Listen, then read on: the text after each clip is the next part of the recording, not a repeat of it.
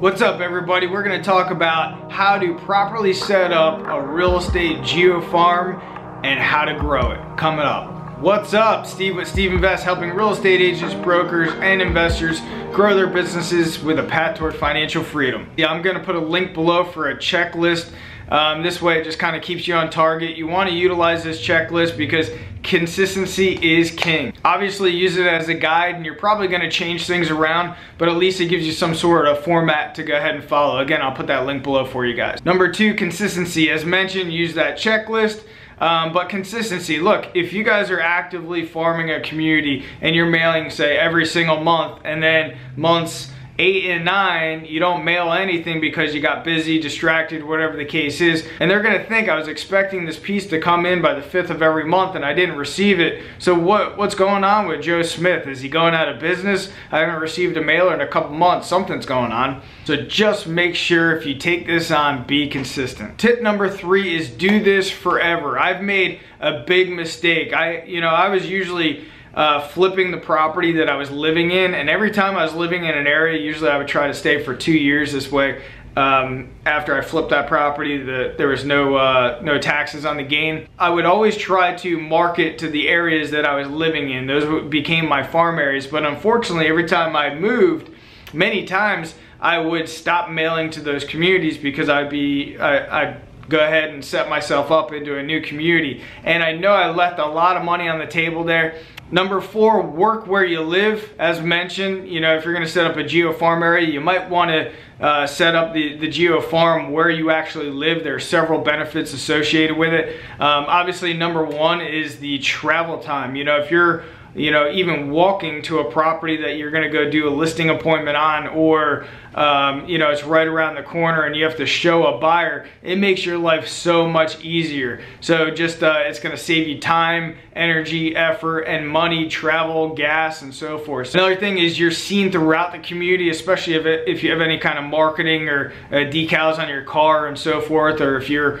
uh, actively walking the community for exercise and so forth, you start to get recognition within your community. So um, that's another benefit for working where you live. Get involved in community activities. Again, the more that you're out and about, the more that you're showing face, the more that you're networking, it's only gonna benefit you. If you're inside of an association, consider actually running for the board as well. I can tell you, um, one of the first boards I ever got on, it was only a community of 89 units.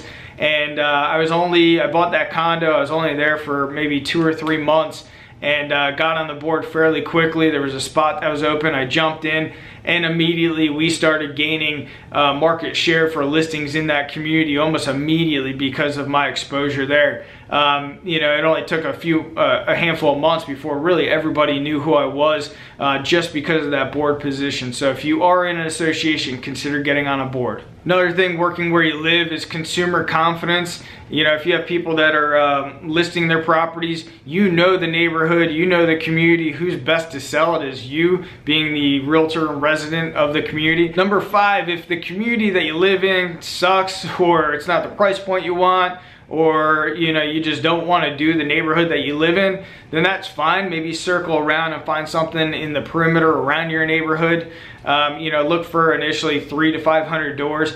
Just find a community nearby this way it's easy to get to. Number six study and research. You know if you're going to be the market expert in this neighborhood, you need to know what's going on in the market at all point in time. And also, if you live in a community and you're like, uh, you know, I want to make I want to make this area my farm area, but you have really no turnover and you know it's an established neighborhood and nobody's selling the properties then it's probably not going to be an ideal community for you. So you want to find a community that there's a certain level of turnover at least six percent. Number seven is consistently marketing to your farm area. So even outside of a mail campaign there's a lot of things that you should be doing within your farm area. It's going to be on that checklist that I'll put the link down below as well for you.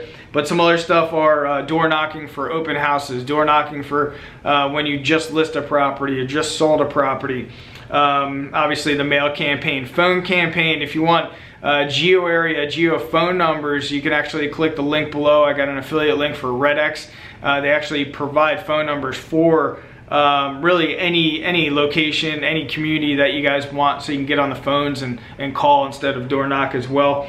Um, make sure you get on social media groups like next door Neighbor, Facebook groups. Uh, consider even creating a Facebook group for your neighborhood as well so people can join in and contribute. And also something else that a lot of uh, successful real estate agents do for geofarm areas is an annual barbecue. So this can be held at you know an event uh, clubhouse or an event center in your neighborhood or even at your house. Number eight, to keep this machine and everything rolling and and uh, really working without you putting a lot of time and effort and energy into it, consider hiring a part-time uh, assistant, maybe even five hours a month could get the job done. $20 per hour, that's $100 a month. You can actually pass this expense along to other contributors to your marketing piece, which we're gonna talk about. In that next video that I have for you guys as well. Um, but you know, five hours a month could could get somebody to handle all the uh, flyer design for you and making sure that thing gets out on month, on time, every single month on your behalf without you having to do anything. Number nine, let it breathe. You know, a farm is like any other farm. You're planting seeds. It takes time.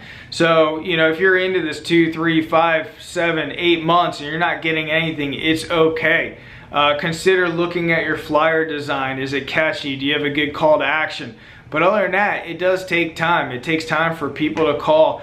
And again, this is a long-term play. This is gonna be something you're gonna be marketing hopefully forever for the entire duration of your real estate career. So give it time, let it breathe. And number 10, my most favorite.